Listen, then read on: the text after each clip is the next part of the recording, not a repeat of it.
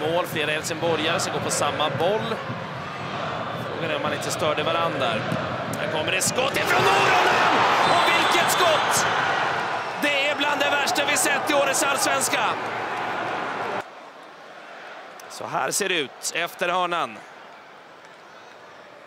Bollen ut till Loronen som står still, siktar in sig och drar till. Och det är ju alldeles magnifikt.